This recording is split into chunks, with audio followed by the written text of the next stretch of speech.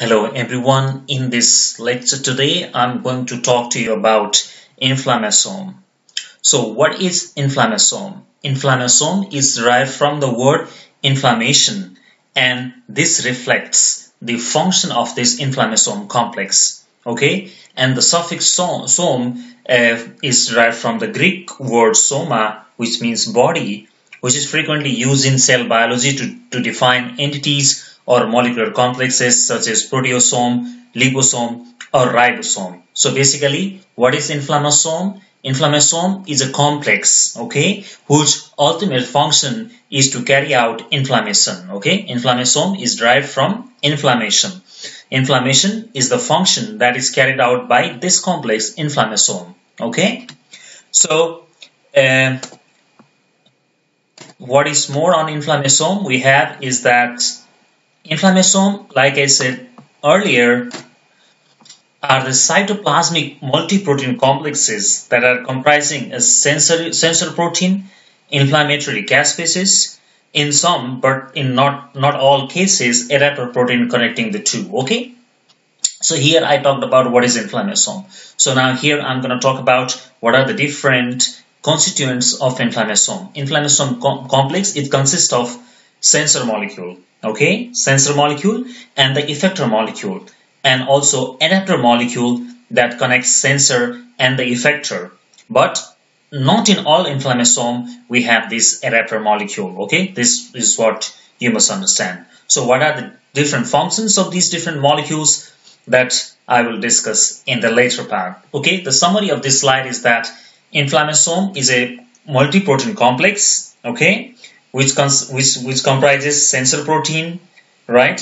The that, um, the the effector molecule in some cases, but not in all cases, the adapter molecule connecting sensor molecule and the effector molecule, right? So the function of this complex, this inflammasome complex, is to perform inflammation. Okay, inflammation is the ultimate function of this complex. Okay, so inflammasome assembly and activation. Here I'm going to show you uh, what is inflammasome assembly and how this is activated. Okay, so there are different stimuli. The stimuli are derived from micro microbiome from our body, you know, commensal bacteria, commensal fungi, or different pathogen derived signals such as bacteria, fungi, parasites, and viruses, and also host derived signals such as mitochondrial dysfunction, reactive oxygen species, ion flux, and metabolic factors. Okay, these are the different stimuli.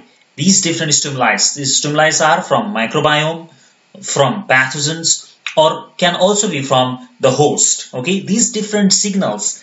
These signals are sensed by the sensor molecule. Okay, for example, NLRC4, NASCT, or HIM200. So these these are the sensor molecule of the inflammasome that sends these different inflammatory these these signals. Okay, these signals, right? These signals are sensed by the sensor molecule of the inflammasome. And as you see here in this inflammasome, they, there is missing adapter molecule. This is ASC. Okay, this molecule is the adapter molecule. But here we have adapter molecule, and also here we have adapter molecule right? But here we don't have adapter molecule. Like I said in my previous slide, that inflammasome complex not necessarily always has the adapter molecule. Okay, so what happens? Different stimuli, microbiome derived, pathogen derived, or host derived signals, these signals are sensed by the sensor molecule of the inflammasome. And this actually leads to the activation of inflammasome complex. So what happens then?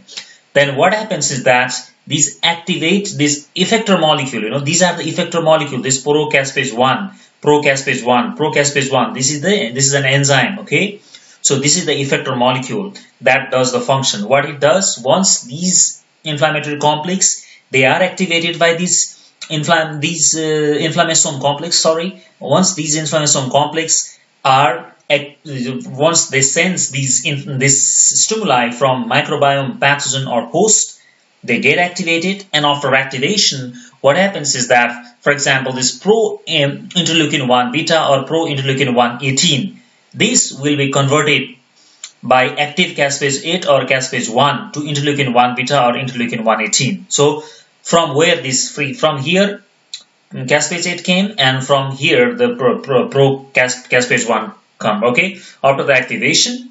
So this pro caspase 1 is converted to caspase 1. Caspase 1 is the activated form, right? Similar, same thing for here. Pro caspase 8 is converted to caspase 8. This is the active form of this enzyme, right? So then pro eh, interleukin 1 beta or pro interleukin 118 will be converted by these activated caspase, okay? These are the activated caspase into interleukin 1 beta or interleukin 118. So then what happens? And that actually results in inflammation because these are the cytokines. These cytokines leads to the inflammation, okay? Inflammation. So this is how this inflammasome complex, they, they result in the inflammation. Inflammation is the ultimate function of this inflammasome, okay? So another thing that they have shown here in this paper is that gasdermin D is one molecule. This molecule is converted, you know, is cleaved into terminal fra fragment by active caspase 1145, okay, or active caspase 1, and that leads to pyroptosis. It's the inflammatory cell death, the details of which I will discuss in the in the later part. One thing is that this terminal fragment results in pyroptosis. Another thing is that it can activate NLRP3 inflammasome complex. Okay. So finally, this active caspase 8 can also result in apoptosis. So from this slide, what what is the synopsis of this slide is that there are different stimuli, microbiome derived, micro, microbiome derived, pathogen derived, host derived signals. These signals are sensed by the sensor molecule of the inflammasome, right? And then after that, inflammasome complex gets activated. That results in activated caspases. Okay, this procaspase 1 converts into active form, and similarly here procaspase 8 is converted into its active form caspase 8. Then what happens that is that this pro-interleukin 1 beta or pro-interleukin 118 they they will be cleaved by these active caspases into interleukin 1 beta and interleukin 118 and that results in inflammation and here in this case results in pyroptosis and here it results in apoptosis. So these inflammation pyroptosis and the apoptosis are the functions, effector functions of inflammasome complex.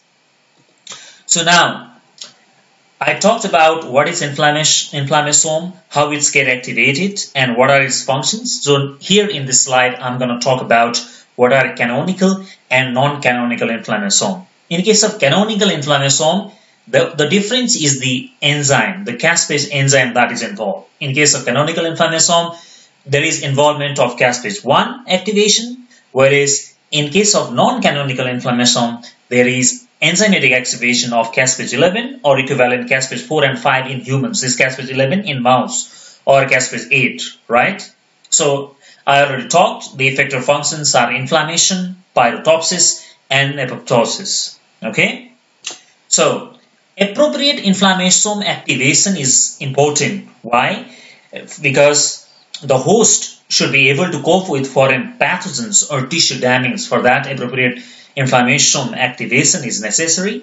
But when there is aberrant inflammasome activation, that can cause uncontrolled tissue responses that may contribute to various diseases such as autoinflammatory disorders, cardiometabolic diseases, cancer, and neurodegenerative diseases. Okay, so the most important point is that the activation of inflammasome must be tightly regulated, and because aberrant inflammasome activation can result in various diseases such as autoinflammatory disease, cardiometabolic disease, cancer, and neurodegenerative diseases. Okay, so finally, even though I told briefly about pyroptosis, here I'm going to describe a little bit more about this. Pyroptosis is the, the effector function of inflammasome complex.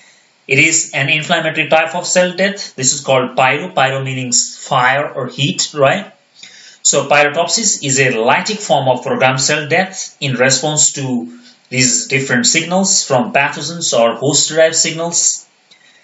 Pyroptosis is morphologically distinct from apoptosis. Okay, it is different from apoptosis. How it is different? Because it is characterized by cell swelling, membrane rupture and subsequent release of inflammatory compounds into the extracellular space such as interleukin 1 beta, interleukin 6 and interleukin 18. Okay, so with this, this concludes the uh, today's lecture. Thank you very much for your kind attention.